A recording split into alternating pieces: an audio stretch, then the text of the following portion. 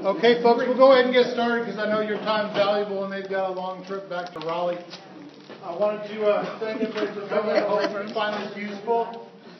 We are recording this, so really you three, just be careful what you say as you're doing this.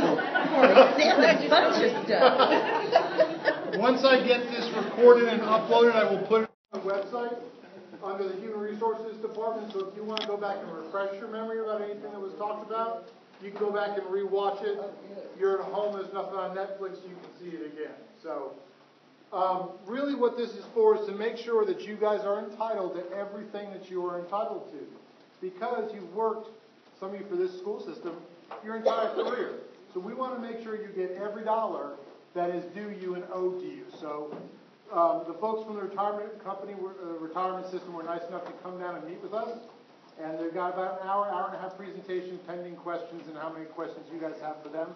So I wanted to introduce them and then set you free to, um, to ask whatever questions you have. Go easy on her. She's been driving all day. so um, this is Deb Foley. Yes. And this Hi. is Clay Thompson. Clay works for the Prudential I do. uh, real estate, uh, not real estate, Retirement. retirement company, Yep, and he'll be yep. going through some stuff with you about 401ks. And so Deb, if there's nothing else you need, it's- you're up. Okay, thank you. Thank you guys for coming. Thank you. It's good to be here with you today. And yes, as Chris said, I am from Raleigh area. Um, as you can tell, I don't have the southern accent, so no, I'm not a North Carolinian by birth, but by choice. I um, was raised in Ohio on a farm, so going past through the Smithfield pig pig um, area, I thought, oh, I remember that smell. and then as my in adult life, I lived in Florida, and then about seven years ago, I moved to North Carolina and started working with the state of North Carolina in the retirement division. So that's my story.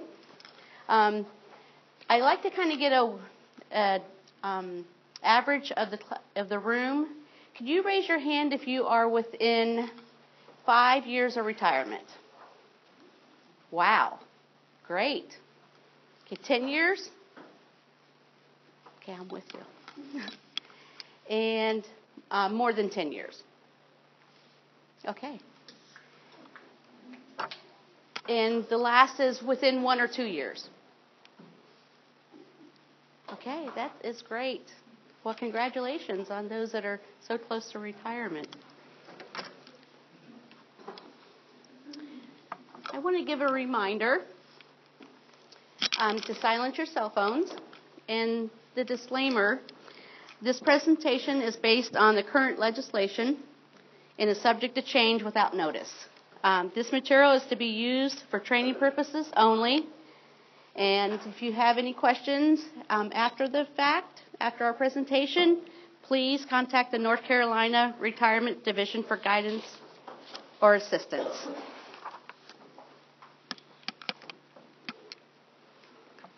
The NC Total Retirement Plan, as you notice, we're pulling ourselves as the NC Total Retirement Plans.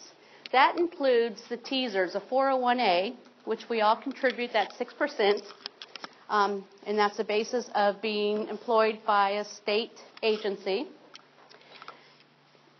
And it's based on the defined formula. And it calculates a guaranteed monthly lifetime retirement benefit. It's not based on your contributions, it's based on a formula. Now, the 401k, 457, 403b is a defined contribution plan. The more money you put in, the more money is invested, and upon retirement, you receive um, your personal contribute. I'm sorry, you receive your um, income from what you put in plus the, the investments that it has drawn through your lifetime. And with the combined course with the Prudential and with the retirement system, it is the North Carolina Retirement Plan.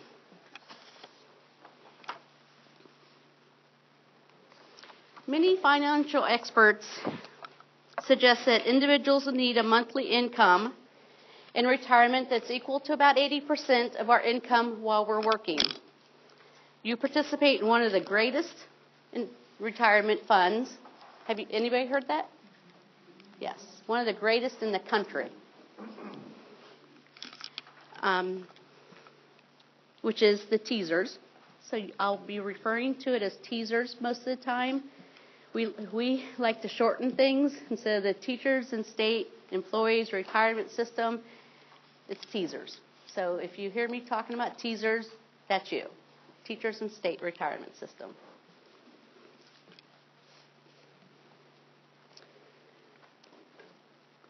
And again, with the plans, with not only your participation with TSERS, but also the potential of add, saving additional funds through the 401k, 457, the 403b, and Clay will be talking about that later today.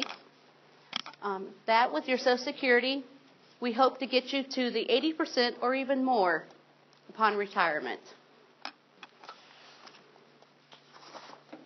Okay, let's talk a little bit about eligibility with retirement. For unreduced benefit, eligibility for service unreduced benefits are 30 years at any age, age 60 and 25 years of credible service, or age 65 with five years. Can I just have a, there's quite a few people, I think I heard someone saying she started young. Is anybody approaching their 30 years or over 30 years? Congratulations, that's awesome. It's awesome that you put in the time, that you are diligent in teaching or whatever profession you have with the TSERS that you're ready to retire now. Or you can go to work and say, I can retire. I'm working by choice.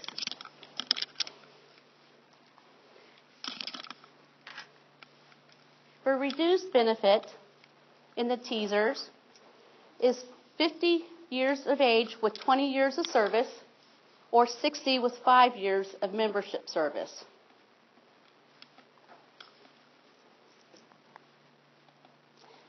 I talked a few moments ago about the defined benefit formula. A lot of people think, well, the more money I put in, the more money I get out. Of course, that's a different time, and Clay's going to be talking about that. With the retirement system and TSERS, it's a defined benefit formula. It's your average final compensation times the accrual factor of 0.182, I'm sorry, 0.0182 or 1.82% times the years of service divided by 12 and you get what it would be per month, 2275. This is an example. Um, I do apologize for the lines. That's not a strikeout. That's just the lines in the wrong spot.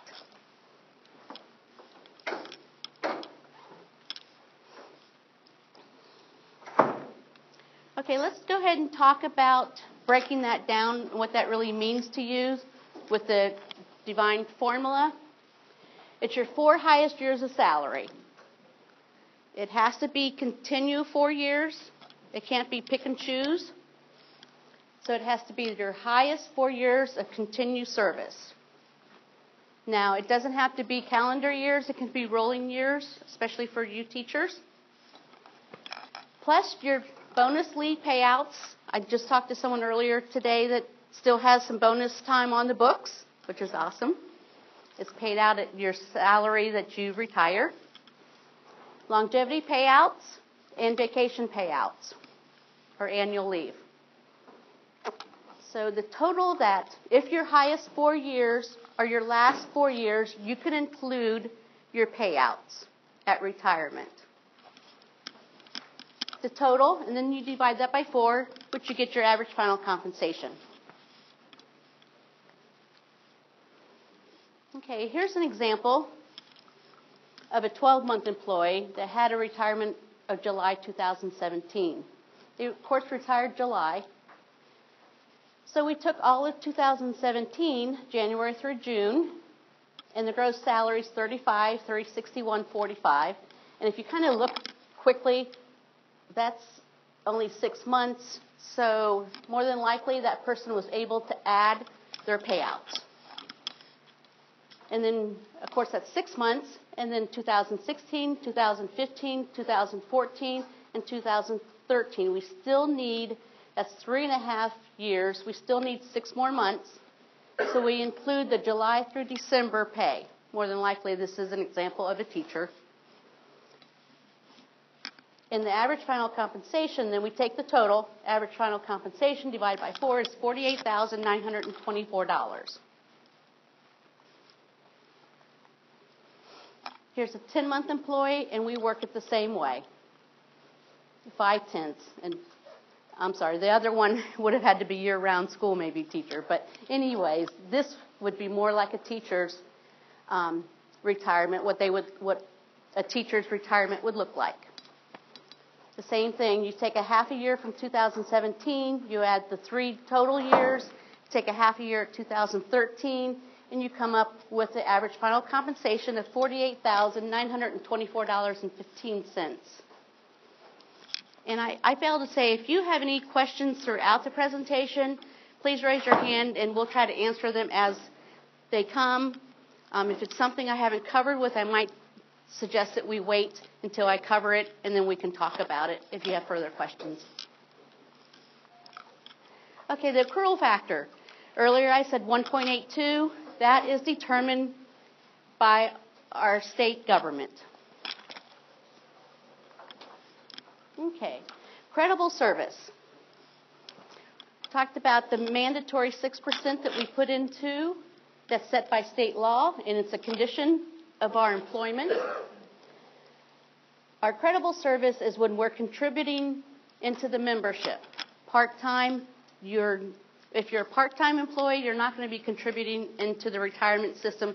Therefore, at that time, you're not getting credit for, for the service. Now, credible service can include non-contributing. And the non-contributing would be you're working, you're in a position to full time, but you're out on short-term disability, extended short-term disability, and long-term. You're still gaining credible service towards retirement, but it's not showing that you're putting any money into the system. Also, there is a um, free provision for military service that um, when an individual is called to active duty, um, the employer pays the employee section and the employer's contributions for that individual. And of course, upon retirement, your unused sick leave does convert to credible service. Here's a few items that can be purchased. I know when I first came to came into the state agency, I worked as a temp for about six, seven, eight months. I can purchase that time if I choose. Is it expensive? Yes, it is. The closer you are to retirement, and the and you purchase it at the amount that you're making at that time. So you can purchase temporary time, um, waiting period for local agencies, withdrawn from local and state service. You can purchase all of these. Um, and if you want more information, it's on the website. There's several different forms. I believe there's about 10 different forms about purchase. You find the one that you'd like, um, what pertains to you, and um, get the information. There's also a calculator on Orbit to get, that information and, and let you know how much that would cost. And I'm getting ahead of myself. Um, again, the Orbit self-serve service gives you an estimator that you can um, check to see how much that purchase is would cost. Um, and then at that time, if that's something you would like to do, you submit a form to us, and then we send out a letter stating again what the cost would be and then you make that decision if you would like to purchase that time. I will tell you, withdrawal service is the least expensive service to purchase.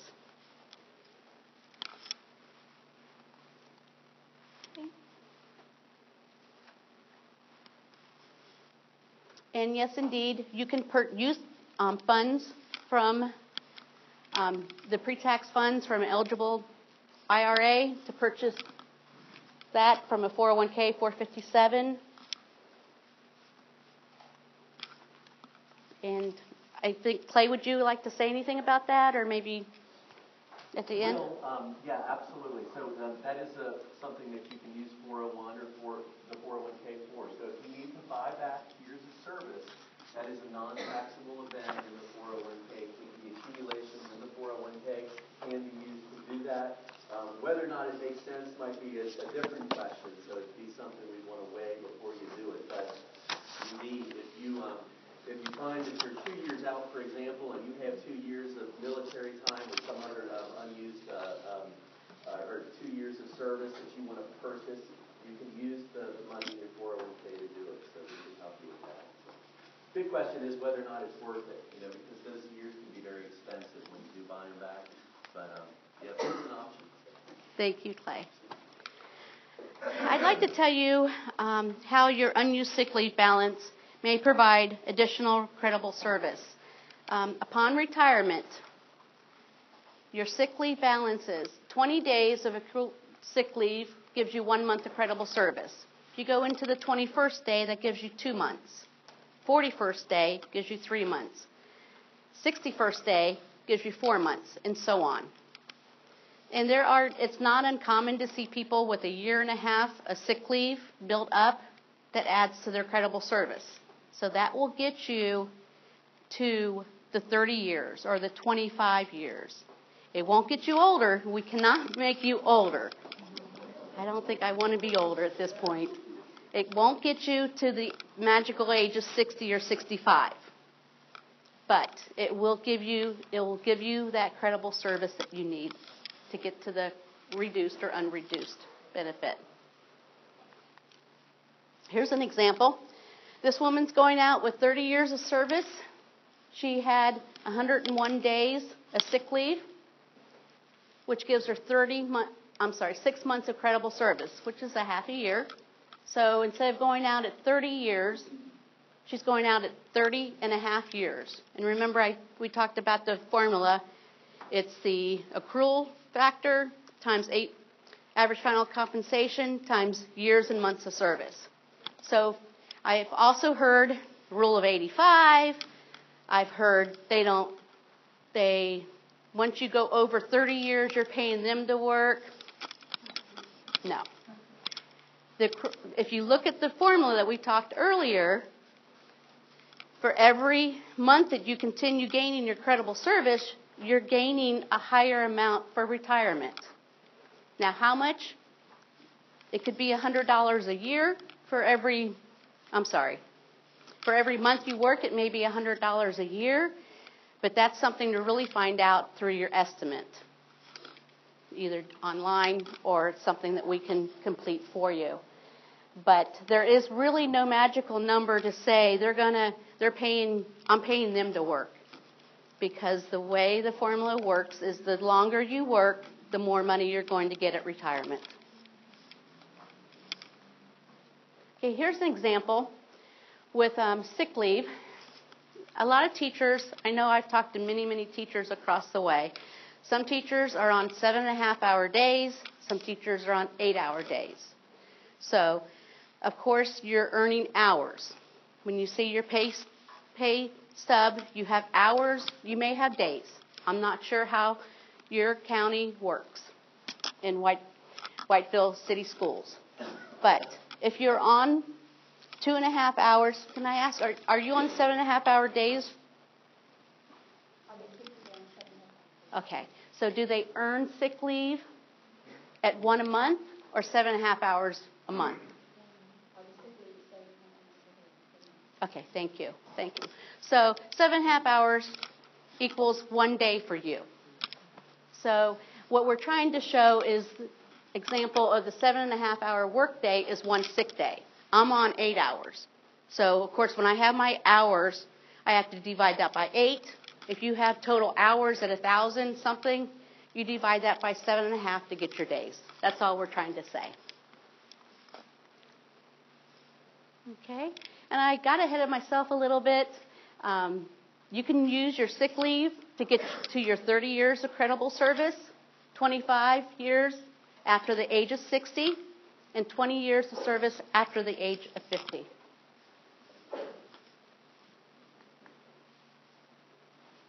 Your earned sick leave cannot be used to meet the minimums of the deferred benefit, meaning you severed ties and you decide to retire, you severed ties with your employer. Five years, six le- years later, you're wanting to retire from the retirement system to start collecting your monthly benefit. You can't use your sick leave at that point to get to meet to get that minimal requirement if it's deferred. Survivor alternate benefit, you can't use it for that, and I'm going to talk a few minutes about the survivor alternate benefit um, and explain what that is. You can't use it for disability retirement, and you can't use it for the five years of eligibility for the health care coverage. Okay, let's talk about the options upon retirement. Um, Here's an example. The assumptions are that the member's 49 years old and that her beneficiary is 51. Her average final compensation, when we take the four years divided by four, is 50,000. She has 30 years of service. We don't know if she earned that through purchase. We don't know if she earned that with um, sick leave.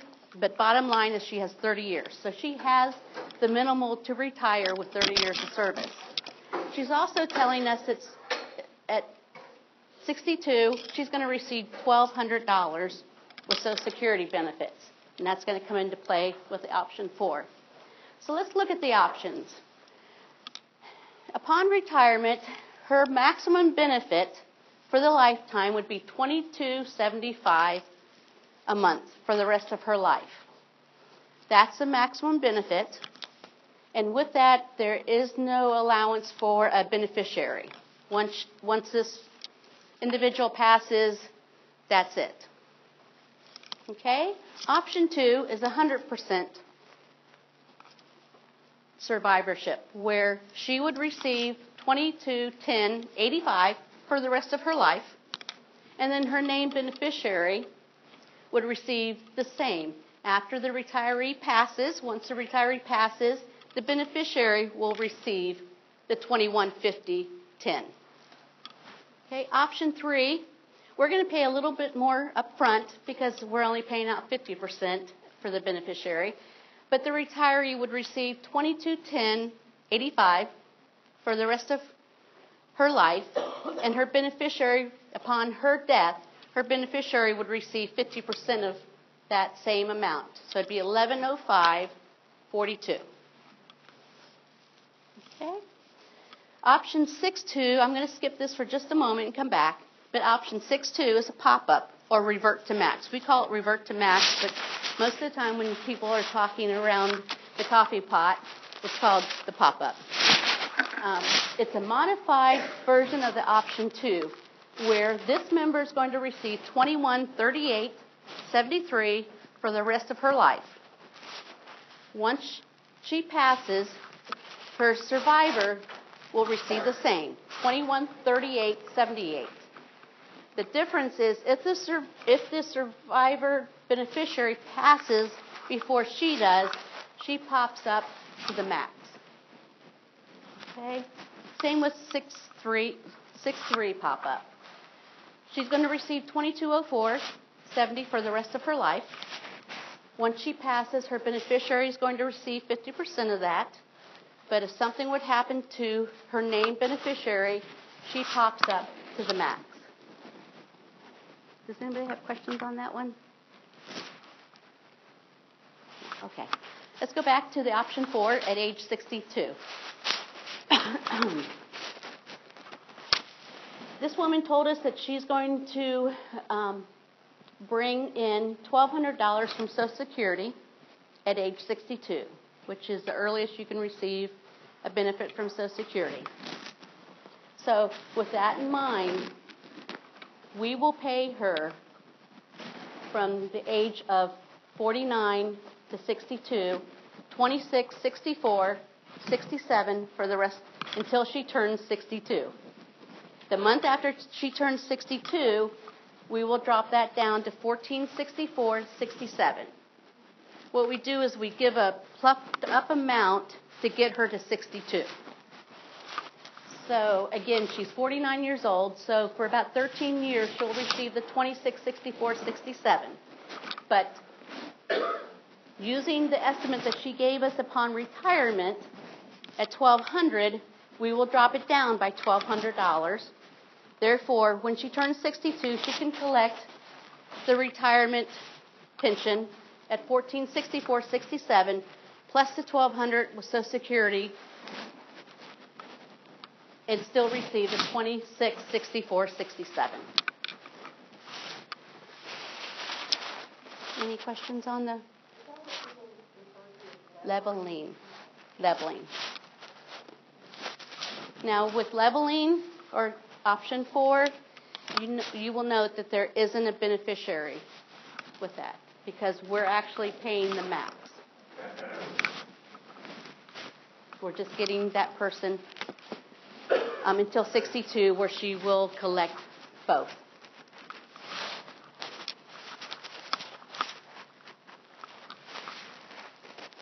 Okay. Once you cash that first check, you are locked in to that option. You're locked into retirement and you're locked into the option. The only exceptions would be divorce from a spouse, return to employment as a TSERS contributing member for at least three years, because after three years, if you would like to retire again, we will refigure your retirement and you can choose a different option or death of a spouse, you can also redesignate a spouse provision under option two and option three only. Not six two and not six three. At this point, I'd like to kind of tell you a little bit of a story. Um, there was a man that named a fiance as their survivor ultimate beneficiary for the retirement. Um, things went south. He must have maybe retired and they spent too much time together. I really don't know. But things went south, and she went off on her way and he went his way. As you notice, I said spouse. She had named a fiance. He he had named a fiance. Well, murder is illegal, so he couldn't do that. The only other option was for him to go back to work. Because if he hadn't, when he passed, his ex fiance and the new guy that he w- she was hanging with would receive her his funds after death. So he was a wise man. He went back to work and worked three years and then changed his option.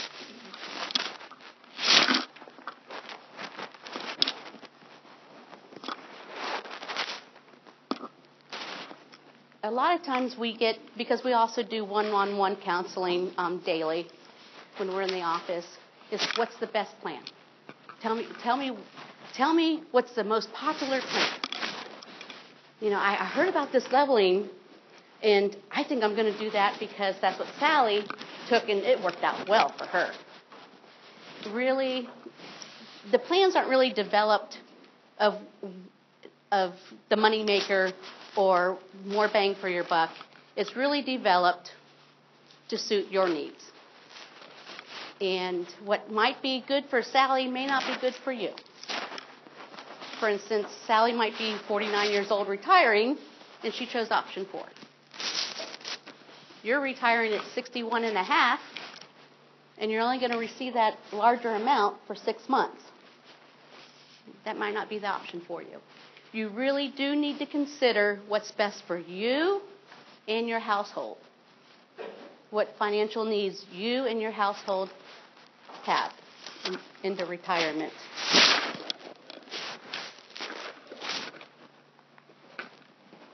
Told you I'd come back to the survivor alternate benefit. What I like to, actually, I'll go ahead and talk about the slide, but it's almost easier to tell you. If you die while you're in active service or 180 days after your last day of service, or within the 180 days within the last day of service, and if you have named one named beneficiary on your return of contributions. So if you have 20 years of credible service and or 60 with 5 years of membership service, the beneficiary can choose a lifetime benefit or the return of contributions. Now all that really means is everyone upon um, coming into employment should fill out a Form 2RC. If you haven't done it for a long time, you may want to do that. The 2RC is a return of contributions form. And with that, you, you are designating a beneficiary for the return of your contributions and interest. So if something were to happen to you while you're employed, we want to know where you'd like that money to go. So that's a 2RC. If you haven't completed the 2RC or 2DB for a long time, ask your payroll specialist and she'll get those forms to you. You can't do it online if you've worked more than 10 years. Less than 10 years, you can do it online on the Orbit self-service. So, if you have one named beneficiary, I'm, I'm going to just use myself. I'm married with three children. So my husband is my principal beneficiary on that form. My children are the contingent. If something were to happen to me and I'm eligible to retire, I'm not at this point, but if I were eligible to retire, my husband can choose either the return of contributions that I put in plus interest or the lifetime benefit. And that's what's called the survivor alternate benefit. So, ladies, and gentlemen, please update your 2RC 2DB. We see ex spouses getting some of the funds. So please, please, please. Did you have a question, sir? Okay.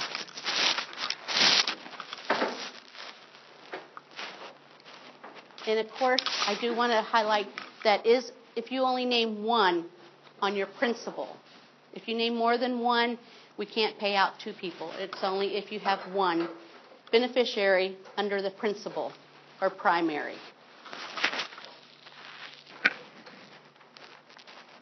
Okay. We as active employees with the state have a death benefit. It's an active employee death benefit.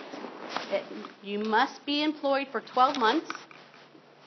The death benefit is the least is 25,000 and the most is 50,000. It's one year's salary.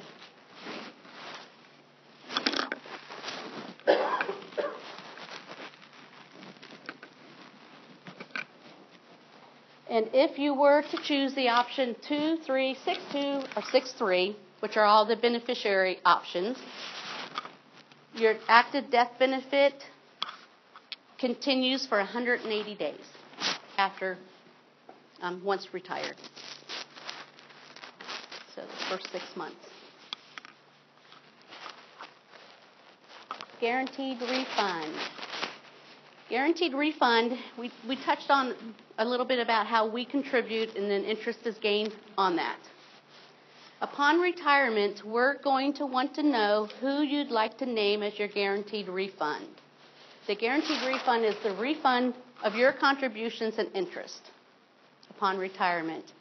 When we all retire, as you can, even if we use that one um, scenario that she's receiving $2,500 a month, you quickly at, do the math and um, monies, is, monies are depleted in about three or four years. The guaranteed refund, though, we'd like to know who you'd like to name if something were to happen to you before that money is exhausted.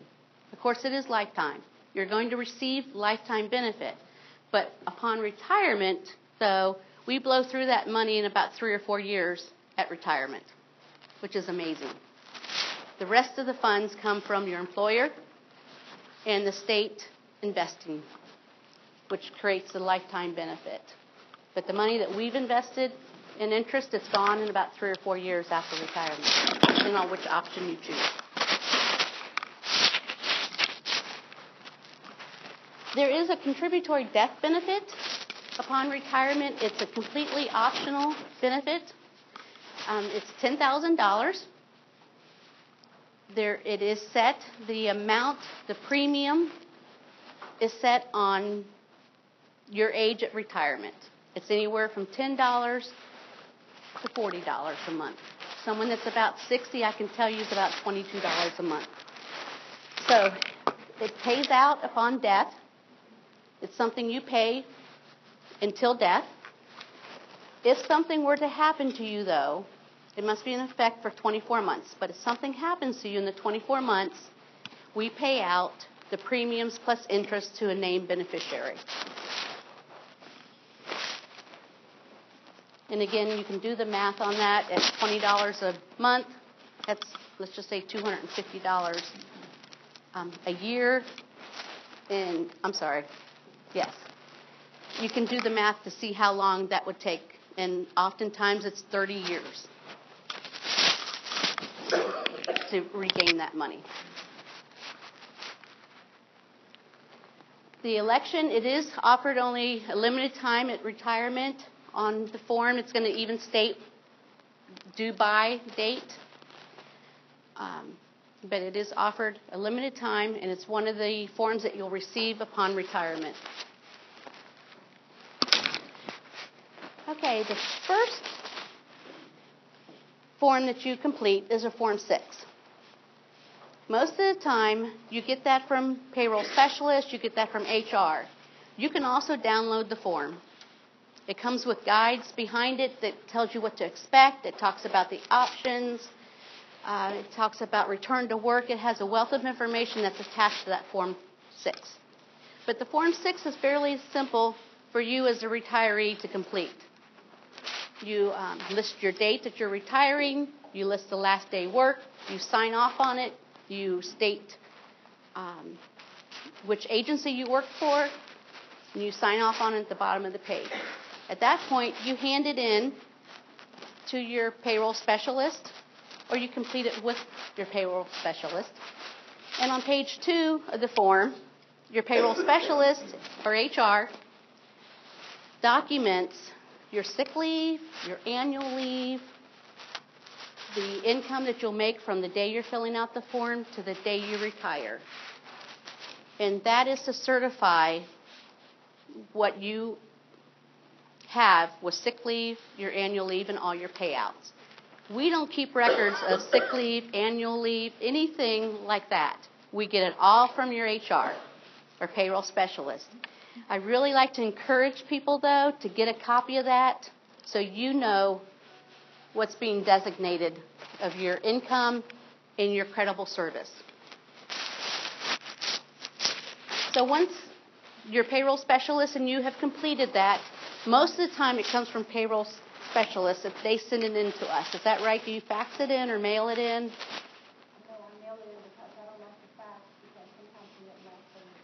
Okay. Good. Okay. So it's for all of you, it's mailed in. And as soon as we have it uploaded into the system, that night we send out a letter saying, We've received your form. That form then accompanies two other forms. I'm sorry, that acknowledgement letter comes with two other forms. But first of all, that Form 6, there is a, a guideline of when to complete your form and that is 1 to 120 days out. We'd like it to be 90 to 120 days out, especially for you teachers, because July is the highest retirement month. So if you are a teacher and if you think you're going to retire July, that would be March 1st, March, April, May, June. March 1st. We'd like to see you start your retirement process because we want to pay you on time. You can still retire, and you can sign that form July 30th, I'm sorry, June 30th for July retirement. You can retire, but we can't get you paid on time because of the process. Again, we went through, I said that we send out an acknowledgement letter and a couple forms. The forms that we fill out, that we ask you to fill out, is a direct deposit form and a contributory death benefit. We call it the CDB.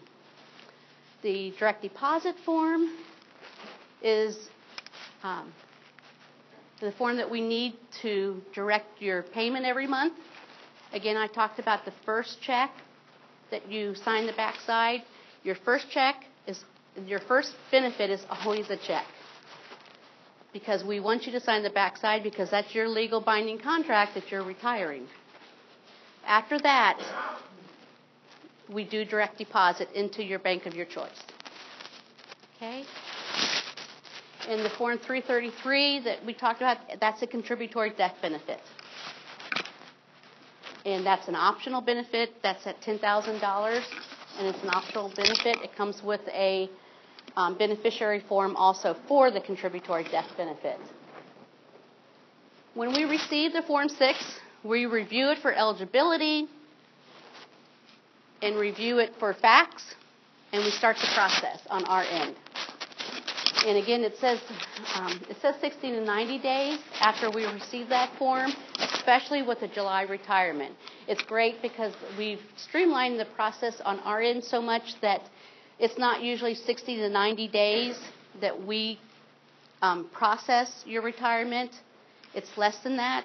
Um, but for July retirement, it may be up to that 60, 70 days. At that point, we're going to send you yet another estimate, and it's a second packet of your retirement the first packet and the second packet. If you have a Form 6 and two other forms, and then you receive a 6E with two additional forms. That second packet that you receive is going to include an estimate of your retirement. And that's based, remember, that's based on what we receive from payroll. So it's pretty accurate. And along with that estimate, you're going to receive a 6E. The 6E is where you choose your option. And what I tell people, especially those, and some of this you're not going to remember if it's retirement in five years, but you, if you're going to retire in the next year, I hope you do remember the 6 and 6E are the pivotal forms. You can't retire with those t- without those two forms. The other forms, direct deposit, we'll just keep mailing you the check. You're not going to need a guaranteed refund. Well, that's we can still process your retirement. But the 6 and 6E, we must have those two forms. So that second packet is the 6E, where you're choosing your option. If you know your option and you get that form in the mail, please just complete it and get it back to us because we can't do anything else with your retirement until we receive a 6E. That's your option form.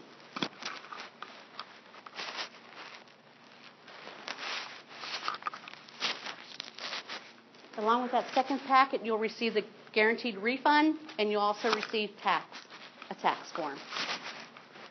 I, um, retirements are always the first of the month.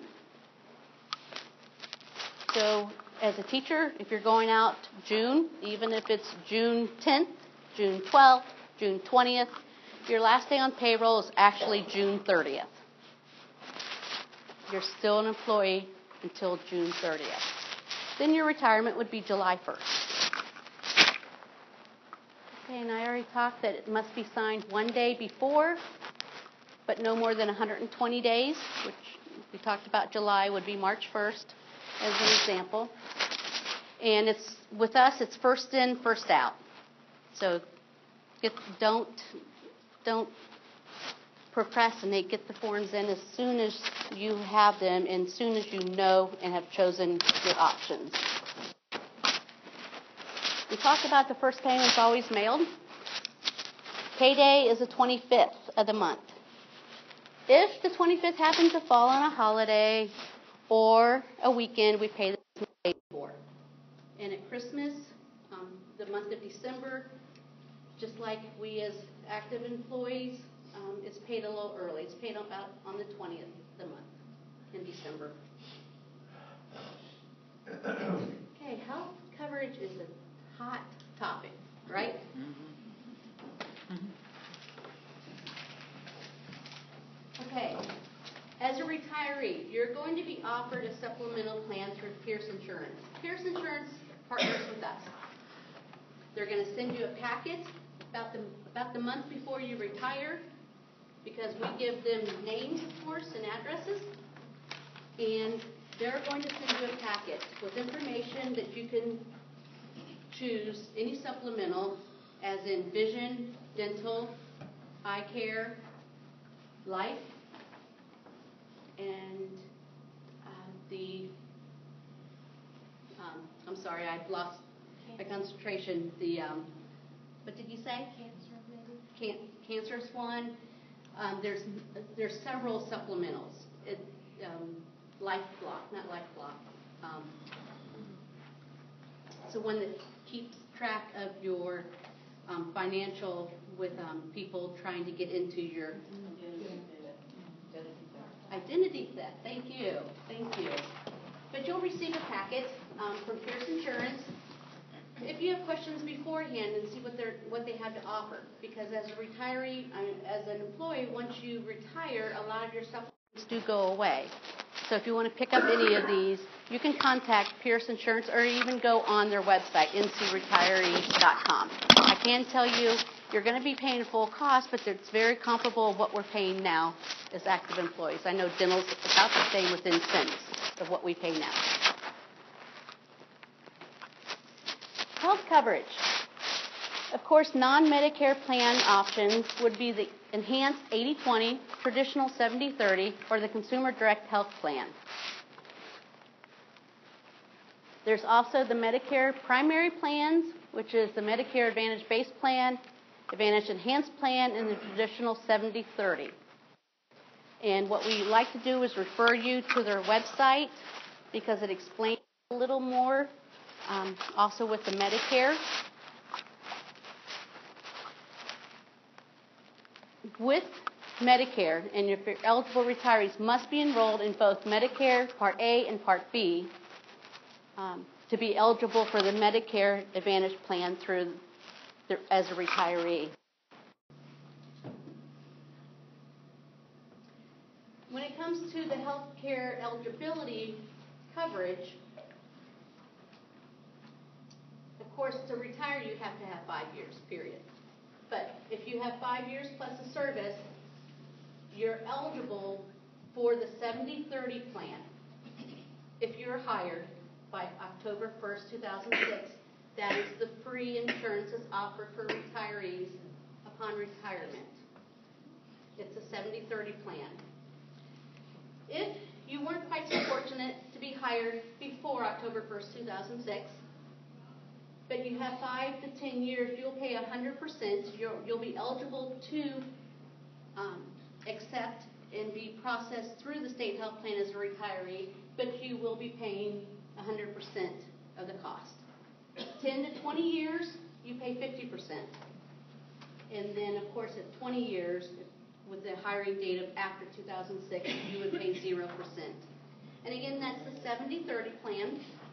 If you want additional, the 80-20 plan, there is a cost, and that cost is about what we're paying now, you'd pay into retirement. It's the same cost. It just depends on if you have the non-smoking, um, and so on and so forth, naming your, your doctor. So you can use those as your tokens and bring down your cost, but it is the same cost that we pay now, you can receive into retirement for the 80-20 plan. Okay, and we do like to, again, I gave you the state health plan information online, but if you'd like to call them um, or log in and get more information on the state health plan, like I said, I know it's hot topic. Um, someday I really hope to see someone from the state health plan come also to talk to you about what's offered. Um, but until then, you can give them a call or go online. I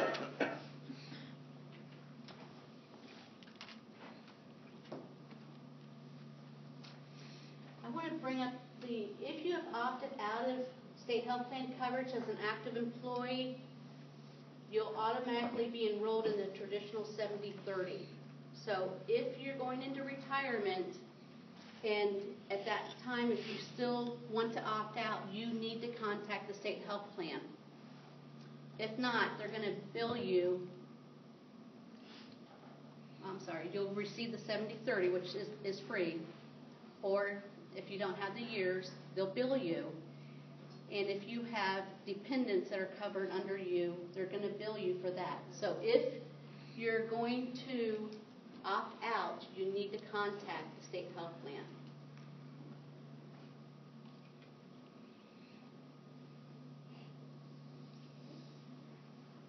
Okay, transfer benefit.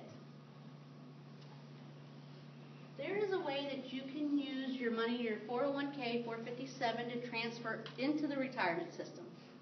It's annuitized, you move your monies over, and you can get a monthly benefit through the money that you put into your 401k, 457. Again, it's moved over into the state plan, state retirement, and you can, it will be annuitized, and you'll come, they'll send you a check every month on that. Clay's gonna talk about that in a few minutes, or, okay? Um, it is a separate lifetime benefit, and the after-tax, after-tax Roth contributions are non-transferable. With that said, um, there is a hundred dollar administration fee, one time for each plan. And with that, you can, again, go on to Orbit, to the self-serve, and get an estimate of what those funds will be on the estimator. Um, and if you're choosing something to that effect, and you would like to um, move that money over, there's a form you submit, it's Form 319.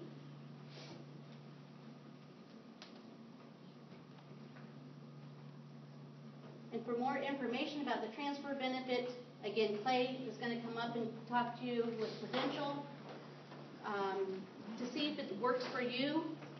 Um, you can also, if you're a member of the state state employee credit union, they offer financial service for members.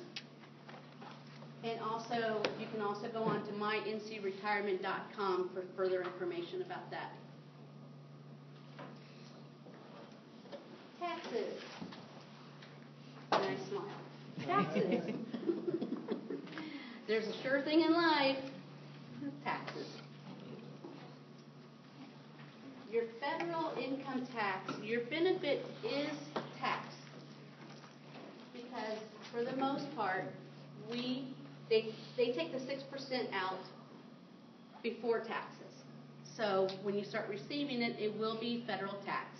There was a time before 1983 that the contributions were made after, I'm sorry, contributions made on a pre-tax after 82. Before that, um, we were paying tax on it. So those that are, um, that had worked before 82, anybody, raise your hand? We're here before 82? Okay, so we won't discuss that. Um, it, your benefit will be taxed, federal tax.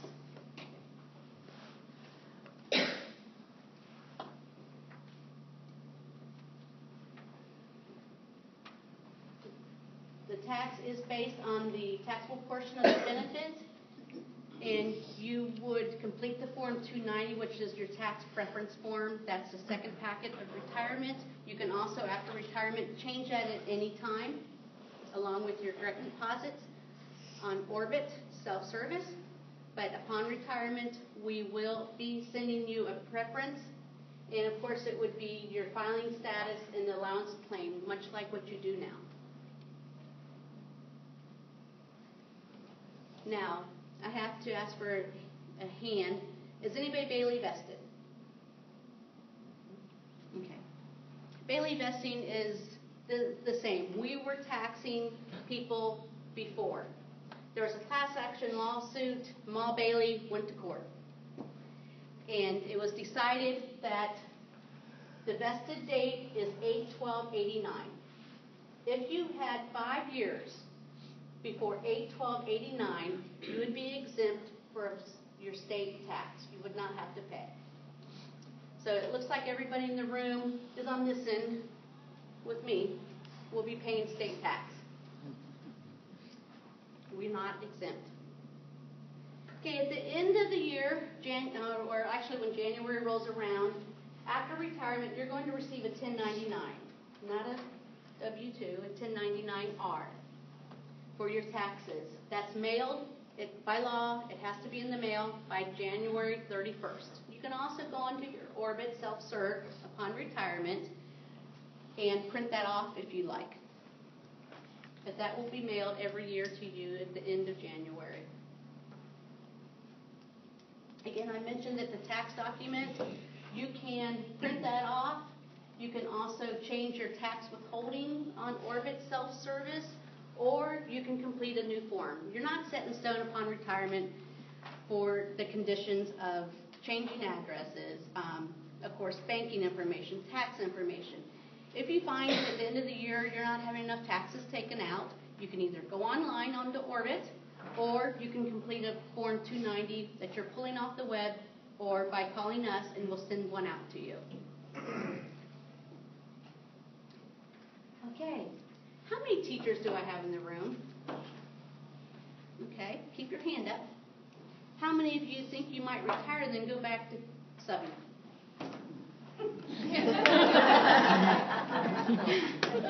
Your child. Okay. Maybe? Okay. Let's talk about return to work. Usually it's a very, very, very, very hot topic for our one-on-one counseling sessions. Um, I gave your payroll specialist a document that spells it out about return to work. Um, and if you're retiring, I would stress that you either go on Orbit or you talk with your payroll specialist about return to work. Um, teachers are probably number one, and it's not so much it's because they you don't care, it's because you do care. You care about what you do, you like what you do, and you go back into the classroom. And that's great. You should be commended for that. But, on the other hand, um, we do have stipulations upon retirement. Does anybody know the rule? How many months? Six. Six. Six months. You cannot go back to work. You cannot con- you cannot perform any work, any work for six months in a state agency. And you notice I say any work. I'm not going to ask for a raise of hand this time. Someone's, a new teacher's coming on board, she's so excited, but you're going to help mentor her. Can you go and help her put the bulletin board up? Can you help those little kids coming off the school bus for the first six months? Boy, you guys have the knowledge. I'm, someone's doing a good job, and if it's you, that's great. You cannot perform any type of work that someone's being paid to do for six months.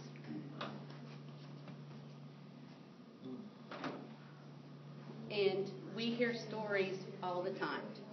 A bus driver was called by the principal, and this was years ago. He was called by the principal and said, I don't have anybody to pick the kids up. Please, just come and pick up the kids on route whatever. He did it that first month. Then he did it again the second and third month a couple times. We found out about it years later. Years later. And at that point, he was so penalized for it. Um, so many times we hear that it almost financially ruins someone because they have to pay back all the funds that they receive from their retirement, for their retirement benefit. Worst of all, you lose your health insurance too. And that's sometimes greater situation. So you cannot go back for the first six months and do anything that someone's paid to do. You're not going to hand out sports in the elementary school to the kids. Someone's paid to do that job. Now, unless, It's a bona fide volunteer position. And again, that's bona fide. We, what we like to say is if it's high school and the concession stand is manned by volunteers, and let's not talk about ordering or anything like that. We're talking about people that are helping in the concession stands at the football games. Those are held by volunteers. You can help with that. Kindergarten kids are going to the pumpkin patch. People volunteer to do that position. It's not a position. People volunteer to help out. You can help out with going to the pumpkin patch. People aren't paid for that service. So that's why you often hear from your administrator, don't even come on campus. Mm-hmm. You can't, you're not supposed to answer questions. How, I, you know, I can't remember, how does that program work? Can you just let me know? Someone's paid to tell you that or have that knowledge. You're not supposed to answer questions. It's very, very stringent. Are we looking for you? No. What happens is there's a fraud line and people will call it.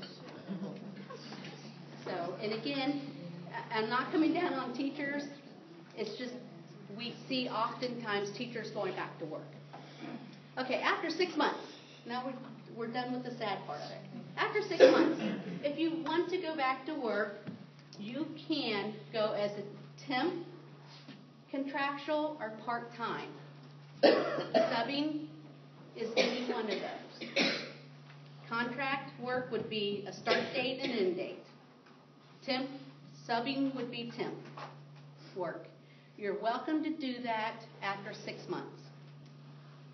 And with that said, you'll be held to an earnable allowance or fifty percent of your income of your last twelve months' salary. Let's just say you made sixty-five thousand dollars. No, I'm gonna bump that up to seventy, you'll figure out why. Seventy thousand dollars, your last twelve months, not including annual leave payouts. So seventy thousand dollars. After six months, you can go back to work and earn thirty-five thousand a year, or fifty percent of your last year's, I'm sorry, fifty percent of your last year's salary is thirty-five thousand a year. Or you'll be held to an earnable allowance cap at thirty-two to sixty. And that increases every year because it's based on the consumer price index. So you can go back part-time, intern, temporary, contractual, that does not require membership in TSERS. Once you start contributing into TSERS, meaning you're full-time, you're putting that six percent back in, you're no longer retired. You have to cancel your retirement and you're going back to work. You can't double dip. So, with the reemployment, your earning restriction, again, is fifty percent of your last twelve months before retirement, or thirty-two, two sixty. So that seventy thousand dollar employee could make thirty-five thousand. They would be under the fifty thousand, the fifty percent instead of the thirty-two.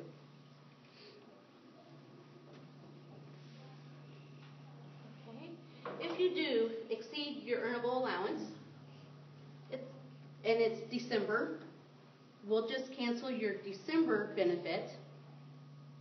And that's not quite so bad if you're making some big bucks there, but we cancel your health insurance. And that's a bigger issue. And then starting January, you pick back up again, you start your retirement monies, you get in your January benefit, and your health insurance starts February, because we're always on that month delay.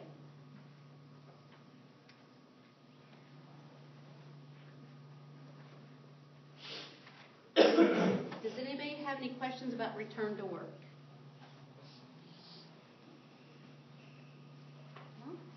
It's good, to know that you're educated about that, because it is, it's almost a passion when I sit across the school teacher.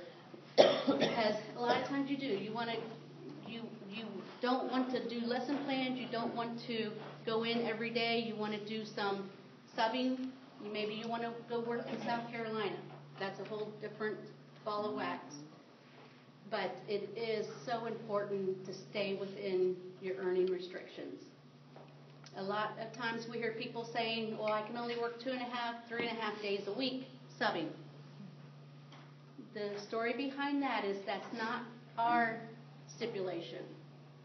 Because I just told you what it is, thirty-two, two sixty, or fifty percent of your income. You're welcome to work up until that time, which could be five days a week. Now, the stipulation with working more than the two and a half or three hour, three days a week is your health insurance. Because of the Affordable Care Act, your employer has to, if you're working more than that, your employer has to offer you the insurance. At that point, you have to accept it.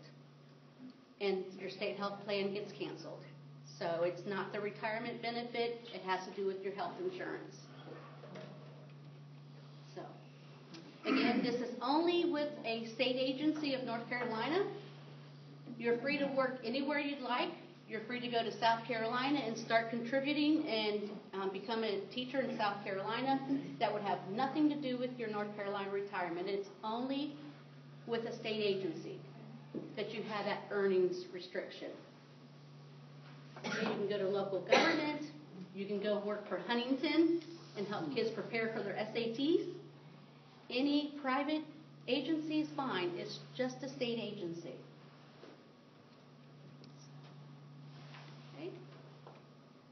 Okay? Our resources. Of course, I've talked about Orbit, so I'm blue in the face. We're really trying to get people, because it is an, a technology time, we're really trying to, for people to go onto Orbit, to get educated, to use Orbit, to do estimates, uh, to check your service before retirement to make sure you're being credited for the service. We really are pushing Orbit. Um, on Orbit, you can find a retirement handbook. It's written in lay, layman's terms. I think it's a 52-page document, but it's, for the most part, it's exactly what I told you today. So if you need a refresher, you can go on and um, look at the handbook. We also send annual benefit statements. Um, Those come out usually in May, so be looking for that. And then, of course, on Orbit, you can do a retirement estimator. You can do a custom estimate that's versed just for you, or an estimate that's going to tell you when your earliest retirement date would be, providing you continue working. Oh, and again, the 401K, 457 transfer benefit estimate, if you're interested in moving some money.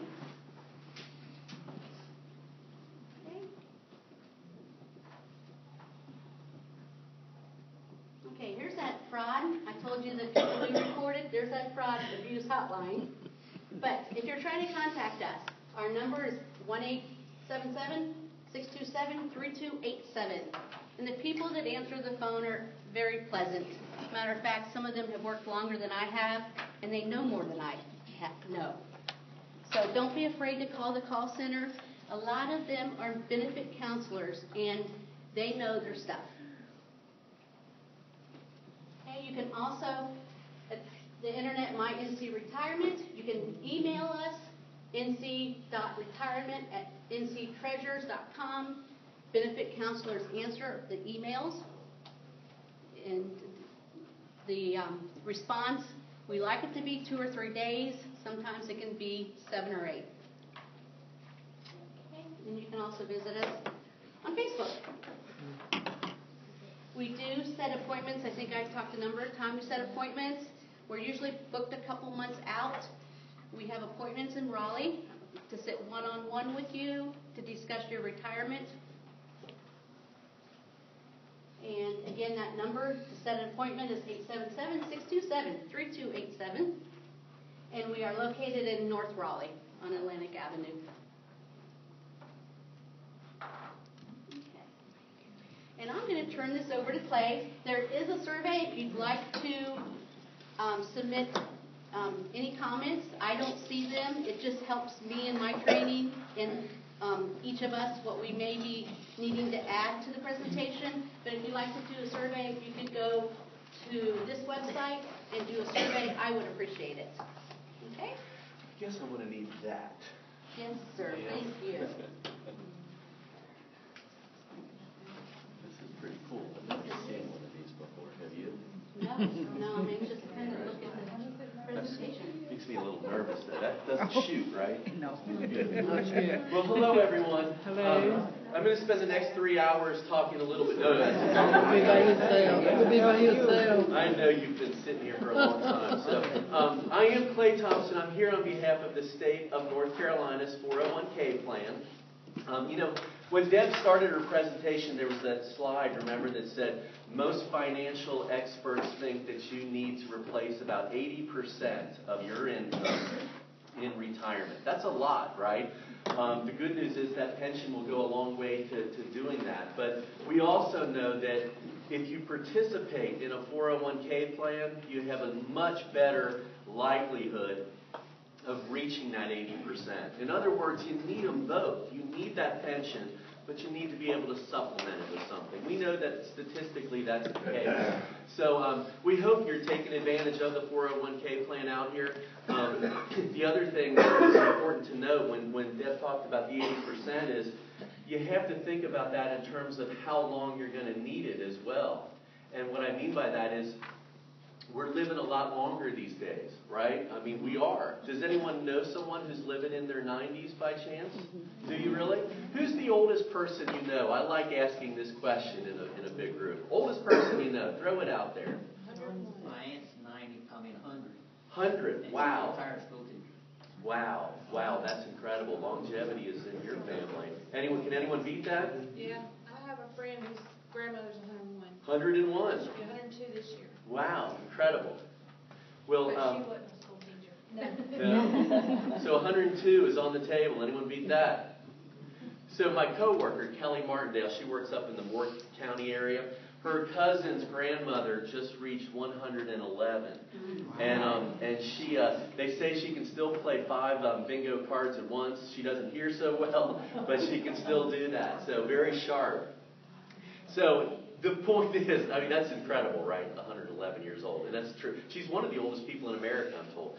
But um, the point is, the point is, if we retire when we're 62 and we live to be 101, you know, and we need 80% of our income to just make ends meet, that's a long time. So we're going to need money to live on. So the point all, of all this, of course, is keep saving while you're working. I know some of you are getting closer, um, but even with five years out, I think a lot of you raised your hand and said you're within five years, but that still gives you time to accumulate some money in, in a in a plan like a 401k. I just want to tell you some things you need to know as you, for those of you who do have the 401k, things you need to know as you approach retirement. So here's a couple of things to keep in mind. By the way, how many of you have the 401k? Good, good, wonderful. Here's some things you need to know. The first thing is this.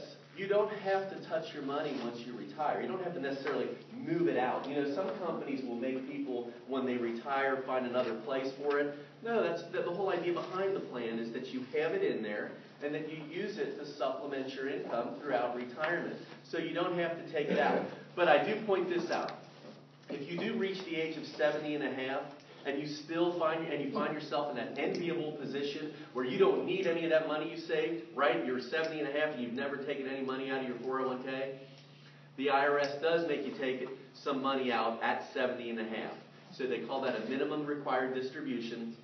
You do have to start taking that money then. If you, the reason I point this out is because if you don't, you know what the penalty is for not taking money that the IRS requires you to take at 70 and a half? It's 50% of what you should have taken and did not. So, for that reason, you want to stay very vigilant about making sure that, again, most of us won't have that issue, but if you are 70 and a half and you, you do need to take out a little bit. Um, the other thing I want to point out is this. Every once in a while, people question whether or not the 401k can be subject to penalty if you, um, if you access it before a certain age. You heard that before, right? You take money out of a 401k plan before the age of, you know, 50. Um, you could be penalized. Let me, let me tell you what you need to know. The penalty does not exist as long as you leave employment at the age of 55. Have you heard that before? leave at 55, you can access your 401k money immediately. But if you leave earlier than 55, then the age at which you can take money out of the 401k becomes 59 and a half. Right? So think, I I know, it's, it's a little strange.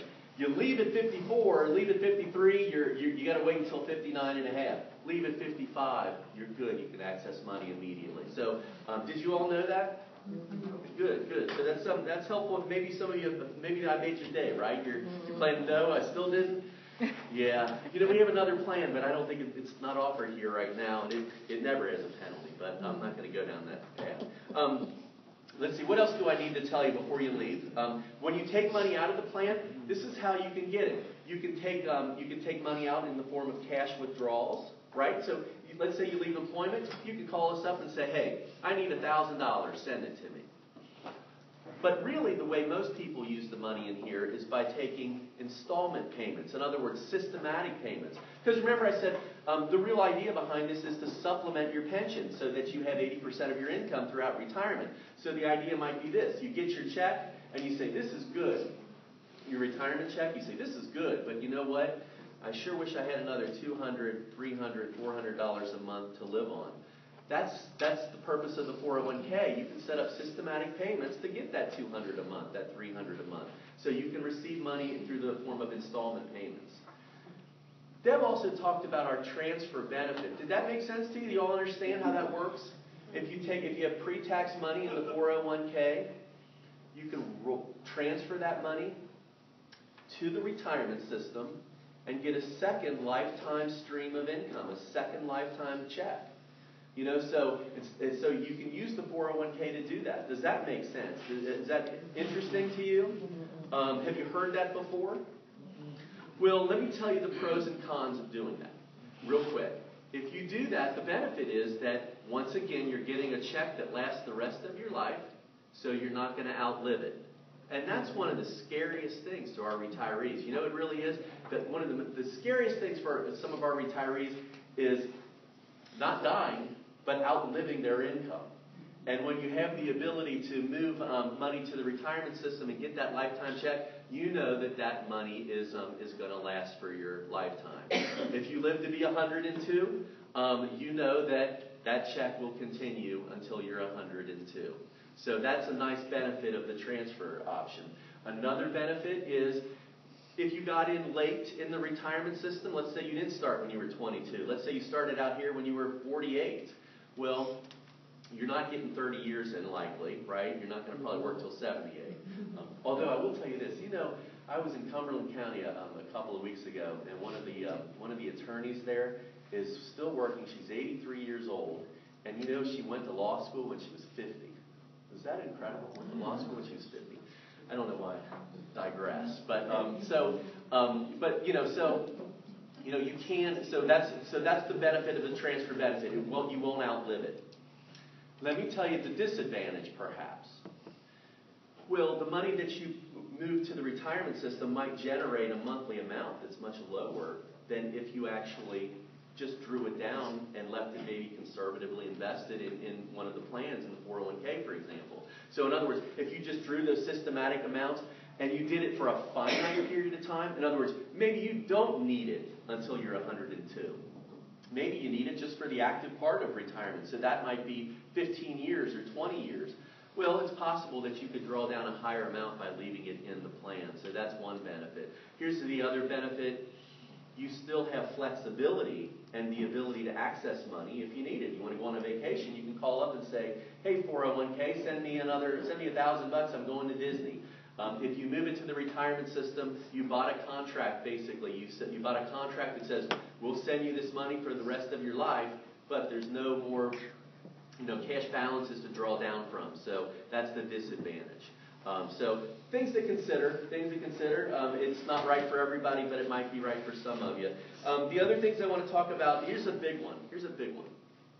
As a matter of fact, this is worthy of a drum roll. If there's a drummer in here, we need a drum roll. Yeah, oh, there it is. There it is. Thank you. You know, Deb and I do webinars every once in a while in Raleigh, and I always say, can I get a drum roll? So she's done that before. But this is real important. When you retire, you will get um, any unused vacation pay, bonus, longevity, any of that will be paid out to you. Did you know that? Unused vacation is paid out at, at retirement in a lump sum. So you will, um, um, are you aware of that, right? Some of you. Um, that could be a big check. If you have 240 hours of unused vacation, they're going to pay that in a big in, a check to you. So you'll get that when you retire. But if you let them do it, if you let them do it, that money is taxed at a much higher rate than your normal paycheck would be. In fact, we've heard somewhere around, we've seen it 46%, almost 50%. So you have $8,000 coming to you, you end up getting four. Instead, this is what you do.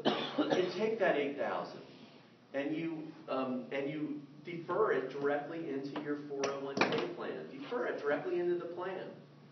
Put that money in 401k. Now you've avoided that upfront, the upfront taxation. You've given your 401k a healthy boost, right? You just put 8,000 bucks in there. You can draw it down as you need it. Um, um, uh, you, you, maybe you don't need it all right now, so you can leave it in there to continue to grow, knowing that it's accessible. You're retired, you can access it whenever you want to.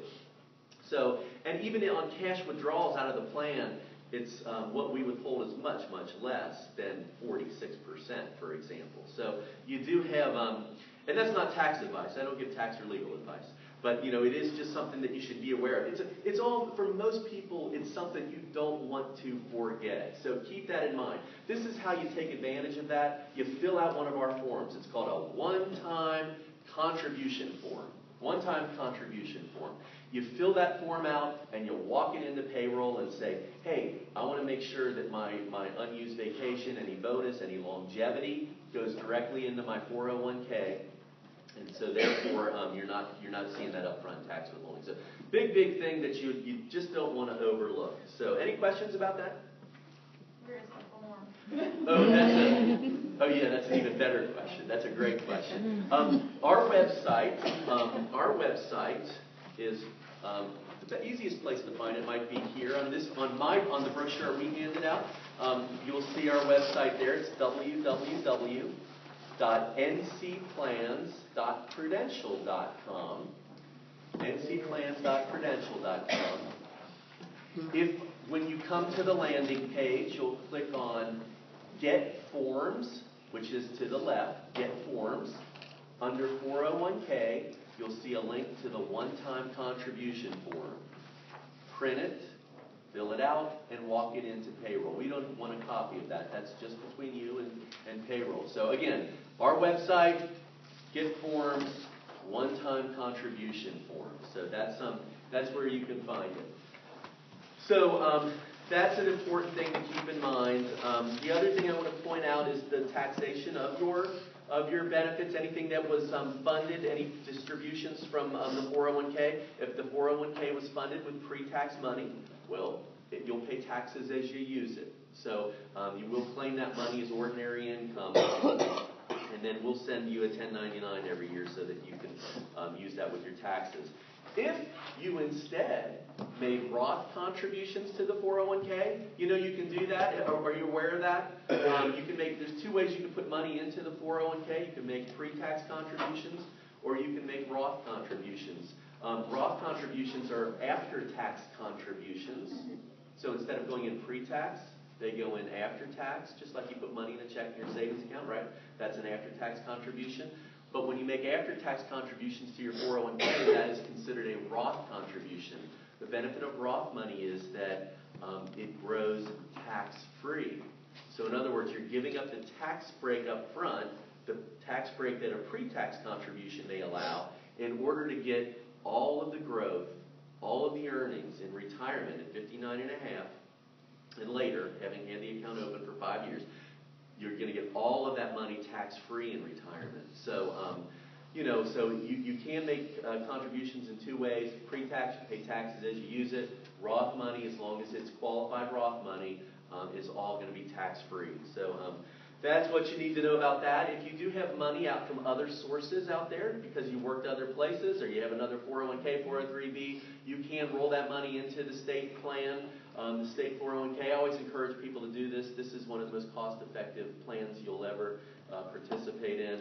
And the state does just um, a wonderful job with their oversight and the management of the plan. They are really, I'm telling you, the people that work at the state um, treasurer are really, really concerned that you do reach retirement readiness. So that's not just um, you know, um, they, don't just mouth that. They really take it seriously. It's a, it's a mantra there. They want to make sure, and they have reports, and we're constantly in meetings to make sure that we're doing everything we can to get you there. So it is a great plan. You can roll money in there. Um, I am your representative, by the way, and you can find my information on the front of that highlight brochure. I'm Clay Thompson again. So um, if you have money that you do want to move into the plan, just send me an email, and then I'll come out and we'll sit down and get everything taken care of. If you have a loan in your 401k and you retire, um, you have a few options.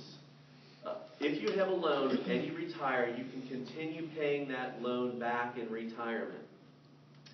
The way you accomplish that is, as soon as you retire, you call our service center. That number is right by the website that was on that highlight brochure I, I gave you. You call our service center and you say, Hey, Prudential, I want to keep paying my loan back and I've retired. If you do that, we will send you a coupon every month and you just send that loan repayment back to us. But there's a little catch to that. You can continue paying the loan back as long as you want to. Um, if you want to stop paying it back, you can stop paying it back. But here's one thing you need to know you can't take distributions and pay the loan back at the same time. So, in other words, in other words, if you're if, if if you're paying that loan back and then you call us up and say, hey, send me um, send me five hundred dollars, I, I'm you know going Christmas shopping. If you do that, it causes the loan to um, default. And default's not a bad word here. That's not a credit issue. It just means that whatever was outstanding with the loan is now considered to be a distribution from your 401k, and therefore you you'll pay taxes um, taxes on it. So, um, but you can make payments. So the point is, point is, if you have a $20,000 loan and, um, or a, larger loan when you retire and you don't want to have to, you know, let that thing default, and be responsible for those taxes, you can keep making, making those loan repayments. So that's an option. Deb talked about beneficiary forms um, and, and, keeping your beneficiary updated um, with the retirement system. You want to make sure you do that on the 401k as well. Sometimes people think because you've updated the beneficiary with our retirement folks that that means that the 401 it trickles down to the 401k. It does not. You need you have your own designation. Um, you need your own 401k um, beneficiary there. So um, and I always think it's a good best practice to update that and, and, look at it at least annually. The easiest way to do that is just log into your account online and, and um, click on personal, and then you can see your beneficiary. You can even update it online without any problems. If you you don't want to do it online, you can print the form from the same place we went to for the one-time contribution. Get forms, and um, you can print it there, and then just send it in. Um, so that's also an option.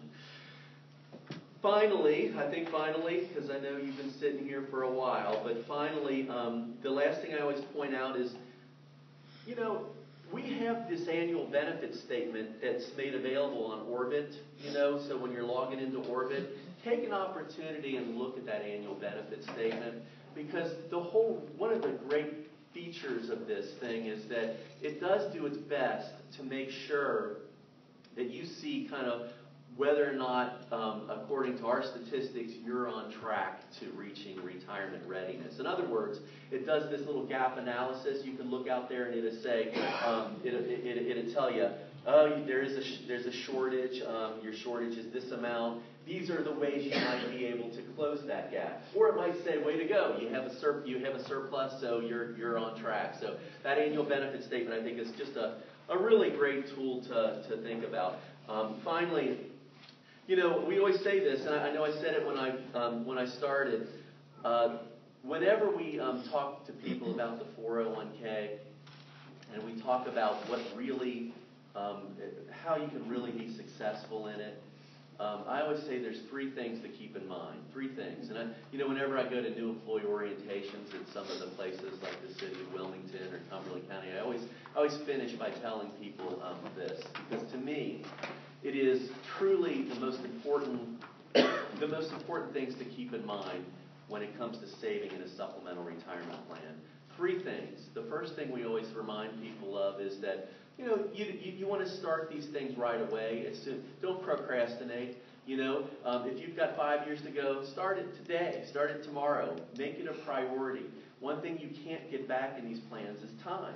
Every year that goes by when you're thinking about it but not doing it is one year you just can't, you don't get back. In fact, when we're able to look across the table from someone, because we have their annual benefit statement in, in, in our hands, and we can look across the table and say, way to go, you did it. You saved enough money in here. Do you know the one response we get back more than anything else? One sentiment they express more than anything else.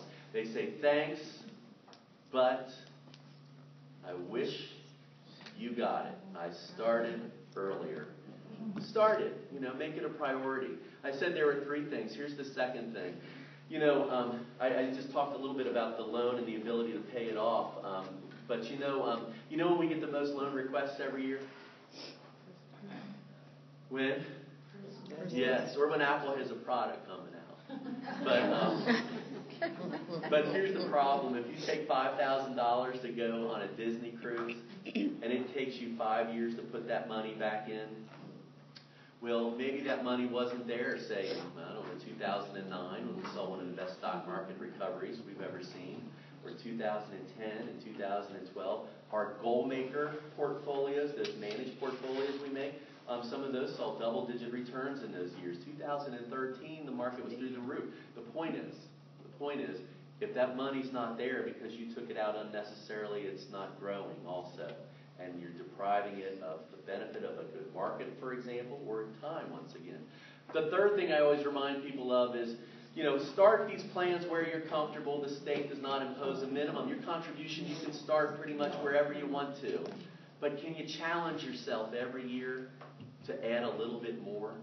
Can you make a $50 a month contribution become 65 because you came in or went online and said, add a little bit more? Can you, can, the next time you get a little salary increase, can you add a little bit more and, and, and reach, reach that $100 a month total? Can you, can you do that every year? I'm telling you, if you increase your contributions a little bit every year and you don't touch this money unnecessarily and you start these plans right away, they work and you do retire comfortably. So um, that's what I have to say. Do, any questions for me? All right. Well, um, thank you very much for having us out, and um, look forward to seeing you in the near future. And if you are retiring, enjoy retirement. Thank you guys all for coming, we appreciate it. Mr. Barnes, Yes, ma'am. let me ask you a question. Yeah, you can cut that off now. Be